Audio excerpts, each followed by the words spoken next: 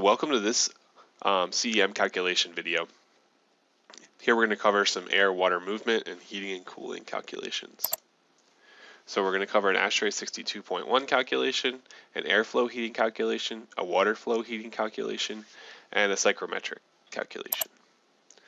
So let's look at this problem. If a wood or metal shop has an area of 4,000 square feet with an occupancy of, of 60 people, let's see what the ventilation um, rate would be using the ventilation rate procedure and what the uh, design outdoor airflow would be for the room. So um, this is the general equation. Um, it looks more complicated than it is. Basically, you have a, a rate per person of air that you have to bring in, and you have a rate per area. So this is to supply fresh breathing air when there's people in the room, and this is basically to get rid of any um, contaminants that might be in the room um, at all times. So um, we look up in the table um, in ASHRAE 62.1 um, for a wood metal shop these two parameters, the RP and the RA. So those are given in the um, ASHRAE 62.1. And then um, we take that there's 60 people, so that's going to be PZ, and 4,000 square feet is going to be the area AZ. And that's what we, we do the calculation, and we get 1,320 CFM.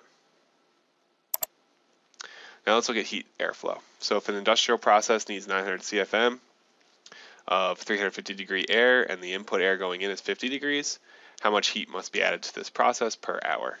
Um, so heat flow Q dot um, is going to be 1.08 times CFM times delta T.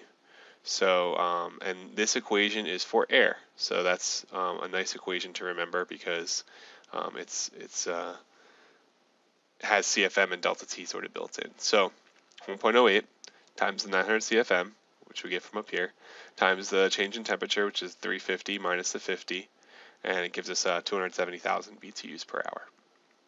So the other thing to notice is that this is Q dot, right? Because it's an air flow, it's a heat flow. And the way this equation is set up, this has to be in CFM, this has to be in um, degrees Fahrenheit difference, and this is in BTUs per hour.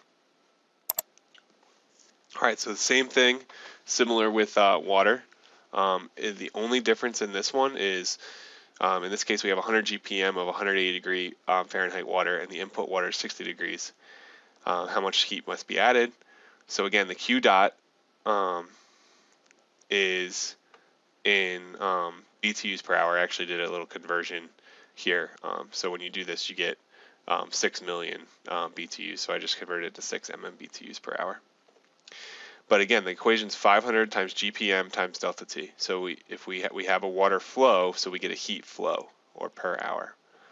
And so we just input the um, all the variables in there, and we get our answer.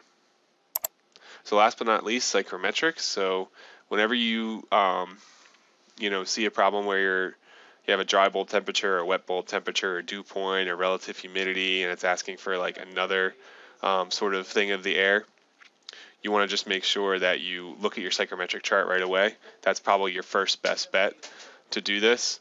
And um, there is a psychrometric chart in Doty and Turner on page 811. And if you use the chart here, you get about 75% um, relative humidity. And sometimes the chart, you know, you're not going to get, some people might get 73% or 70% or 80%. So um, you just want to choose the multiple choice answer that's closest to what you get. Okay, there's all the problems for uh, this section. Thanks for watching.